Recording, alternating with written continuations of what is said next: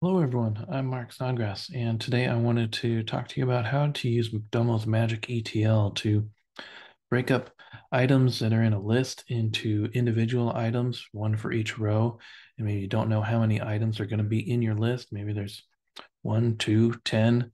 Um, this could be with orders with multiple parts in a column, or maybe you've got survey data with multiple responses in one field and you need to break those up so you can then make some visualizations off of that.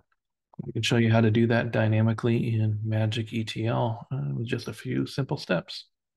So let's get started.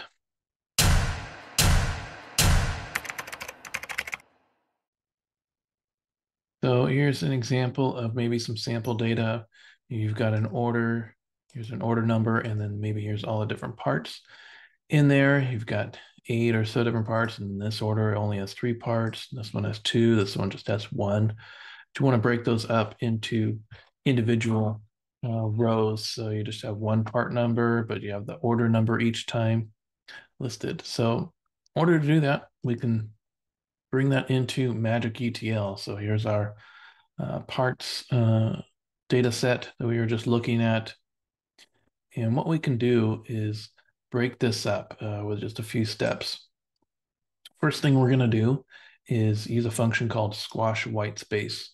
So this is going to trim not only the uh, any spaces at the end and the beginning of the data set, but if there's multiple spaces and things like two or three spaces in here, it'll just shrink that down to one. So it's just going to clean things up a little bit for us. Next thing we're going to do is figure out how many commas are in this data set. So way we do that is figuring out what the length is of that string. In case that first one is 63. Then we're gonna figure out what the length is if we take away the comma. So we use the replace function and look for the comma and replace it with nothing and then check the length and we see the length is 55 and then doing the math between those two uh, formulas that, that we just uh, built is eight so then we know there's eight commas in here so we're going to use that in just a second. Then we're going to join that with uh, our numbered data set. And one, you can make up your own uh, list of incrementing numbers, but I'm just leveraging actually the Domo dimension calendar data set that's got some several incrementing numbers in here. One of them is the day of the month in here. You see this is going for January, and so it's 1 through 31 in here. There's probably day of the year in here. So we'd got one through 365 if your list was really long. Uh, but what I'm doing is just grabbing one month out of there because I know my parts list is going to be less than 30 items.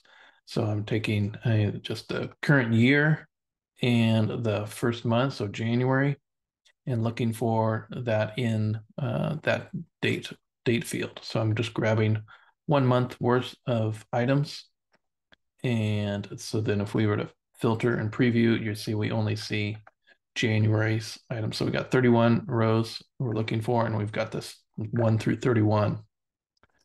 Then I'm in this formula tile, I'm just taking that day of the year and subtracting 1 so that I can start with a 0 because there may be no commas in that other data set. So that lets me start with a 0 in here. And then I'm also doing a join key of one that I'm going to use here to join with the other data set. And then just to clean up some clutter, I've just got the join key that's repeating down, and then these numbers that are going down zero through 30 now. Now I'm going to join that with my parts data. And we're just doing it on the join key, and that's just going to temporarily explode this data so that we're going to have for each row, we're going to uh, repeat 31 times in here. So each of these rows are now going to be repeated 31 times in this join. So this got uh, kind of big for a minute, but that's okay. Uh, we're going to deal with that. Now our next trick is now to just bring that down. So then we're only repeating the number, getting the number of rows for the number of uh, parts that are exist.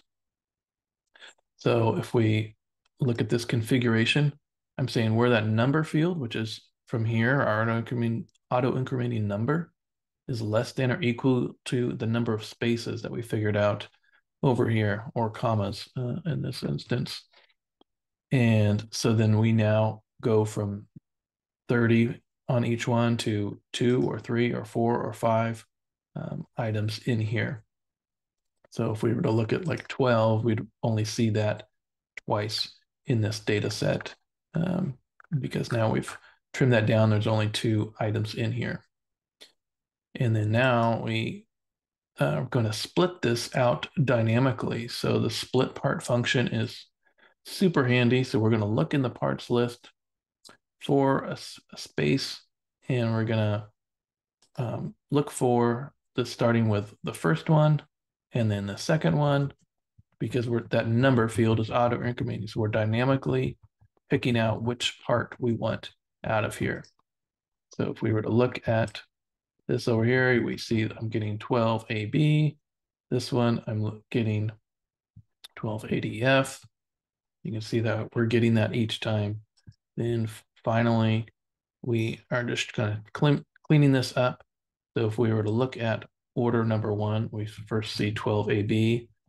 And then if we scroll down, here, here's that second part that we're getting out of here. And then the third part we're getting out of here. And so on and so forth. So that's how we can get that. And so then a cleaned up version of that looks something like this, where we've got the order number going down, and then here's our eight parts. Order number two only had uh, three parts in it. So there's only three rows. This it's got four rows. You can see how we dynamically broke that up, uh, laying that off. So very handy, uh, be able to do this. Hope you found that helpful. Again, if you have any questions, feel free to reach out to me uh, in the Domo community. Thanks a lot.